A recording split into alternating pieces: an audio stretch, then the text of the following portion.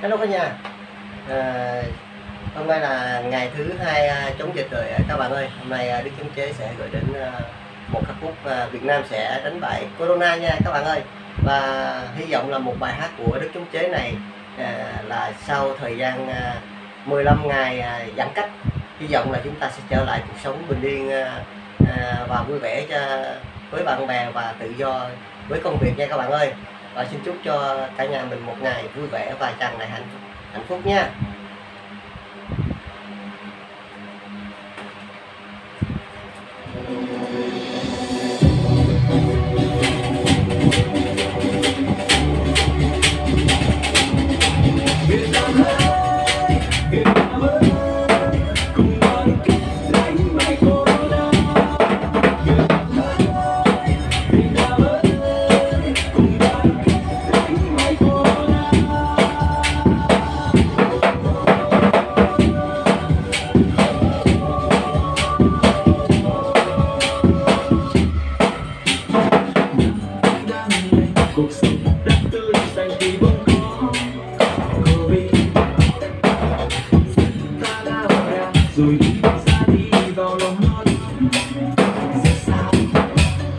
Thank you.